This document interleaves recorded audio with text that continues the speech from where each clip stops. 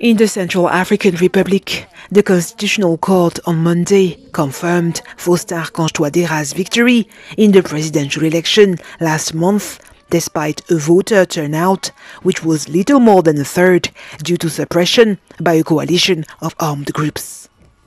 The candidate Faustin Archange having obtained an absolute majority of the votes validity cast, is declared elected in the first round President of the Republic.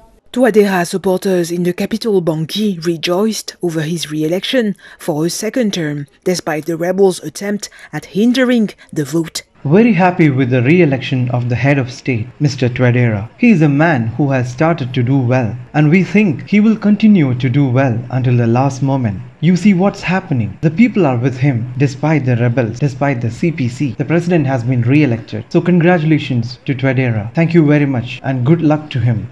We are already living with this fear. The fact that they wanted to boycott, they wanted to hinder this election and we stood our ground. The fear is there, but we are Central Africans and proud of it. This country belongs to us. It is not the country of a single individual. It is a country of all Central Africans. And the head of state, as the supreme head of the armies, as the first authority of this country, can take its responsibilities so that peace can return and people can live in this peace. President Faustin Archange Touadéra on Monday greeted his supporters after the court's verdict, saying that those who tried to prevent the vote from taking place had failed. Should those who have prevented Central Africans from exercising their civic duty, who have prevented Central Africans from choosing their leaders, have been proven right? Should we agree with them? I do not think so.